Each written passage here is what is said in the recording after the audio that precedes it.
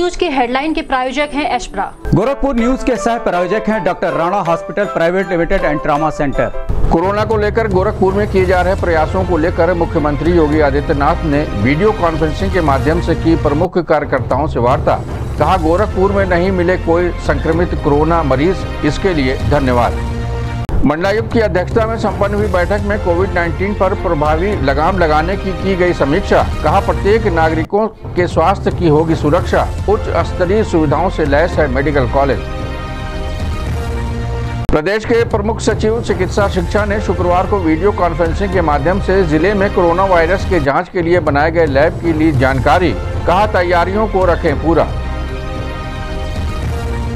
Railway चिकित्सालय तथा railway station पर कोरोना के मरीजों को रखने के लिए बनाए जा रहे कोच का मंडलायुक्त और डीएम ने किया निरीक्षण। व्यवस्थाओं का लिया जायजा कहा हर संभव मदद के लिए तैयार है प्रशासन।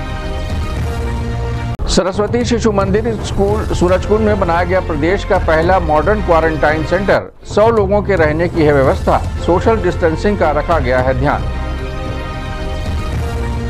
जिलाधिकारी की अध्यक्षता में संपन्न हुई एयरपोर्ट अथॉरिटी के अधिकारियों संग बैठक। भविष्य में लॉकडाउन खुलने के दौरान हवाई उड़ान की तैयारियों की की गई समीक्षा। बेतियाहाता चौराहे स्थित पुलिस चौकी के सामने संदिग्ध परिस्थितियों में लगी किराना स्टोर में आग। स्थानीय लोगों और फायर ब्रिगेड के सहयोग से पाया गया आग पर काबू।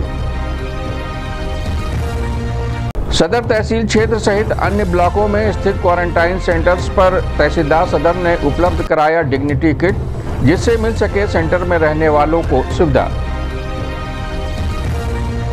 शासन से प्राप्त दिशा निर्देशानुसार जिला अस्पताल के एसआईसी डॉक्टर ए के सिंह ने इमरजेंसी ओपीडी के ठीक सामने तैयार कराया नॉर्मल आइसोलेशन वार्ड, सांस के मरीजों को भर्ती कर किया जाएगा इलाज। महवा फल मंडी में व्यापारियों ने लगाए पोस्टर। बिना मास्क लगाए नहीं मिलेगा सामान। लोगों को कर रहे हैं जागरूक। महिला थाना प्रभारी अर्चना सिंह द्वारा लगातार कोरोना वायरस के बारे में जनता को किया जा रहा है जागरूक। सामाजिक दूरी बनाकर रहने की दी जा रही है हिदायत। लॉकडाउन के दौरान महेवा मछली मंडी में मछलियों का आवक हुआ बंद। मछली मंडी में पसरा सन्नाटा। आर्थिक संकट से जूझ रहे हैं व्यापारी।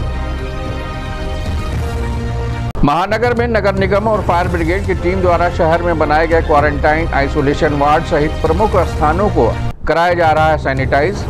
सोशल डिस्टेंस का रखा जा रहा है विशेष ध्यान। लॉकडाउन के दौरान महेवा गल्ला मंडी में सोशल डिस्टेंसिंग का हो रहा है पालन। थोक व्यापारी बेच रहे हैं राशन सामग्री।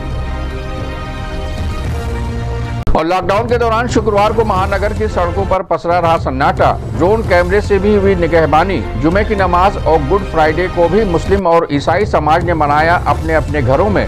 लॉकडाउन का किया पालन।